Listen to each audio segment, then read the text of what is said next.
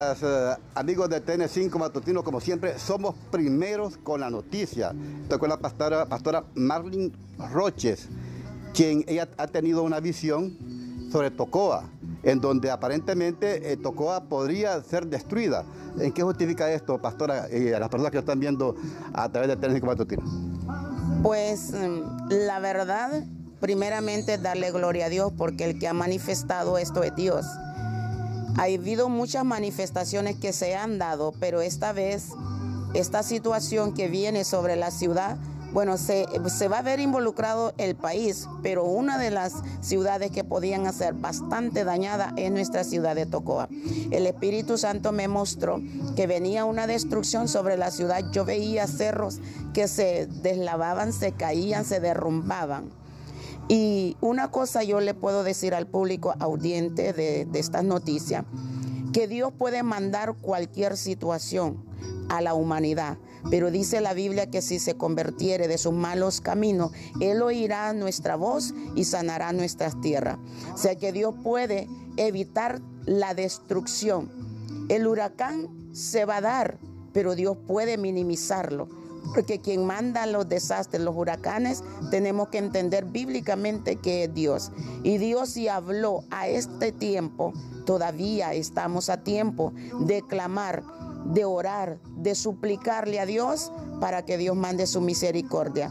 Porque cuando Daniel clamó por la ciudad, tuvo la misericordia de Dios para que no fuera destruida la, la vida de las personas un medio de todo lo que pasó, Dios le mandó misericordia. Nínive también fue anunciado destrucción y se clamó y se oró, se ayunó y la misericordia de Dios llegó sobre Nínive. Entonces nosotros no somos la excepción de que la misericordia de Dios no llegue sobre nuestro país y nuestra ciudad de Tocoa. Somos un país bastante vulnerable y necesitamos solo la intervención de Dios y nosotros que pongamos nuestro deseo y nuestro corazón para que Dios pueda hacer su obra maravillosa y que Él lo puede hacer porque Él es misericordioso. Y no importa, porque dice la Biblia que el, sol sale para buenos y para malos. O sea que si Dios quiere, para todos va a haber misericordia, para todos. ahora, este, esta visión es como destrucción en cuanto a fenómenos naturales, ¿verdad? Eh, por destrucción por huracanes, inundaciones, así, ¿verdad?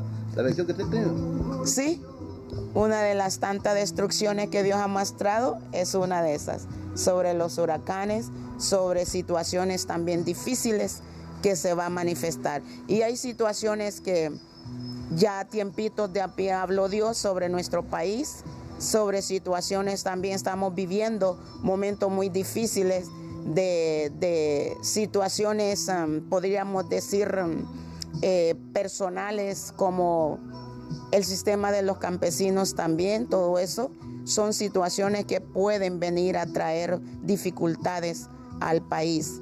Así es que como conocedora de la palabra, yo le pido también al sistema que ayude a resolver muchas cosas que se den en el país para que no vengamos también a pasar situaciones terribles en nuestro país. Porque nosotros como seres humanos, aquí en nuestro país de Honduras no estamos preparados para grandes desgracias y destrucciones. Eh, pastora, antes de finalizar, queremos que nos cuente a nuestros amigos de TN5 Matutino, usted a qué iglesia pastorea y su experiencia en este tema de llevar la palabra de Dios pues de servirle al Señor aquí en la ciudad de Tocoa. Tengo ya más de 15 años de estar aquí sirviéndole al Señor en la ciudad de Tocoa. Y el ministerio se llama Ministerio Apostólico y Profético Vida y Salvación. Bueno, muchísimas gracias. Solo entonces recalcar que sería a través de una destrucción por fenómenos naturales que podría pasar a Tocoa, pero se puede prevenir me acercándose a Dios. Se puede prevenir buscando la presencia de Dios. Y y decirle siempre también que hay que tener cuidado con todo lo que está pasando también con la ciudadanía, ¿verdad? Con, con las dificultades de las tierras y los campesinos, que todo eso también hay que estar, eh, tener cuidado y poderlo resolver, porque todo tiene solución mientras estamos con vida en la tierra.